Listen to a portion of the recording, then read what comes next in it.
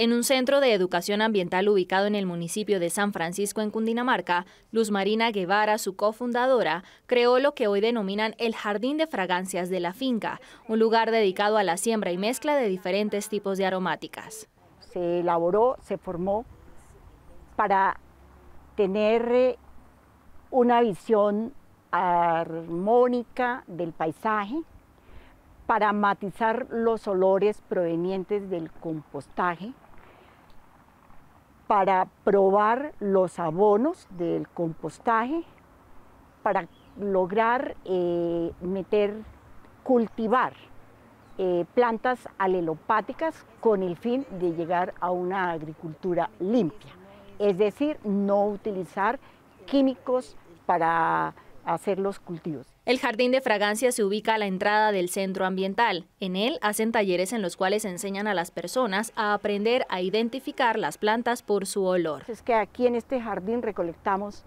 más de 30 especies nativas que nos dan aromas y fragancias. Dentro de esas fragancias de las matas, que todas las matas expelen olores, pero entonces tenemos matas, eh, plantas aromáticas, plantas medicinales e industriales y plantas únicamente ornamentales. Entre todas las plantas aromáticas que siembran están las más conocidas por todos, como el romero, el laurel, el canelón y la ruda, pero también manejan algunas variedades poco comunes que cumplen funciones medicinales.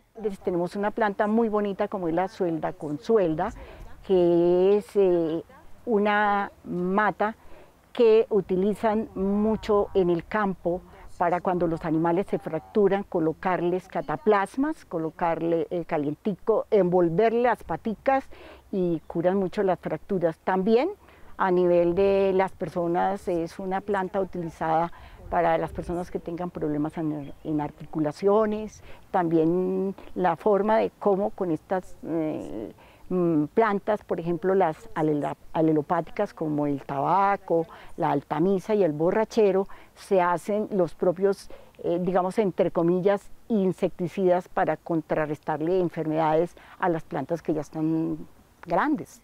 En el centro también se siembran cultivos de tubérculos y hortalizas para el autoconsumo como auyama, espinaca, coliflor, brócoli, cubios y arracacha. Las aromáticas cumplen una función alelopática al proteger dichos cultivos.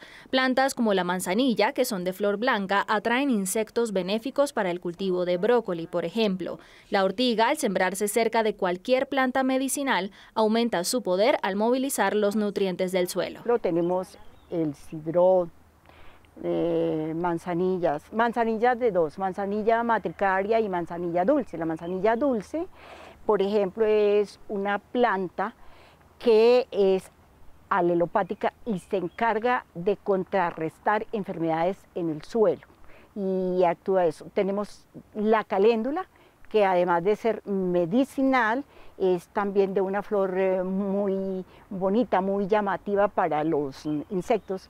Y de noche hace su, eh, su oficio de mm, alelopática. Las plantas aromáticas y medicinales que se siembran alrededor de cualquier tipo de cultivo ayudan a controlar diferentes plagas y a fijar los nutrientes en la tierra. Es así como los insectos que habitan naturalmente entre las plantas permanecen controlados y no generan daños.